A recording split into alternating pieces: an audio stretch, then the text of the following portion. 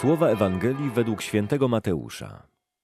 Jezus powiedział do swoich apostołów: Uczeń nie przewyższa nauczyciela ani sługa swego pana.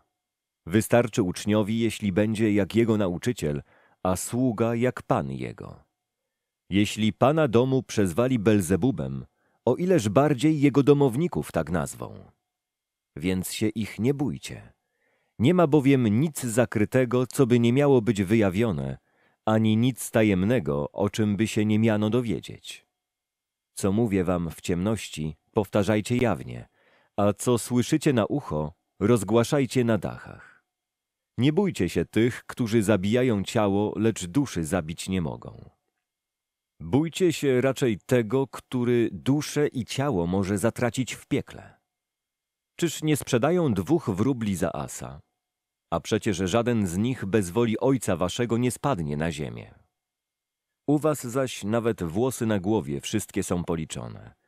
Dlatego nie bójcie się. Jesteście ważniejsi niż wiele wróbli.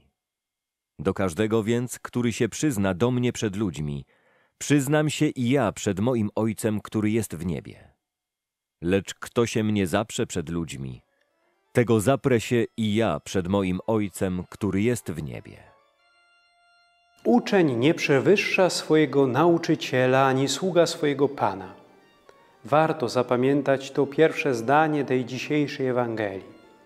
Zwłaszcza, że są wśród nas i tacy, którzy mają odwagę i czelność poprawiać nauczanie Jezusa, stawiając się wyżej od Niego.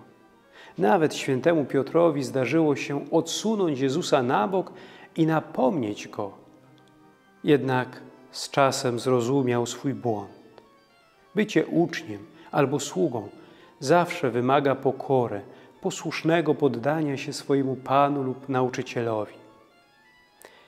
Wystarczy, jeśli uczeń będzie jak jego nauczyciel, a sługa jak jego Pan, mówi dalej Jezus.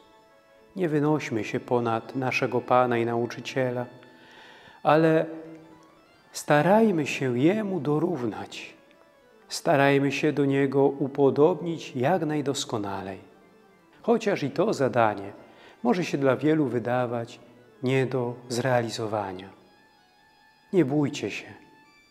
Strach zawsze ogranicza, paraliżuje, a przecież dla wierzących w Chrystusa nie ma na tym świecie niczego, co mogłoby nam zagrozić. Bogu naprawdę zależy na nas. On kocha nas ponad wszystko i nie pozwoli, aby nam spadł choćby nawet jeden włos z głowy. Więź z Bogiem winna przekładać się na świadectwo. Dlatego Jezus dodaje, że jeśli przyznamy się do Niego przed ludźmi, to i On przyzna się do nas przed Ojcem Niebieskim. Bądźmy odważni, przyznawajmy się do Chrystusa i zawsze dawajmy o nim dobre świadectwo.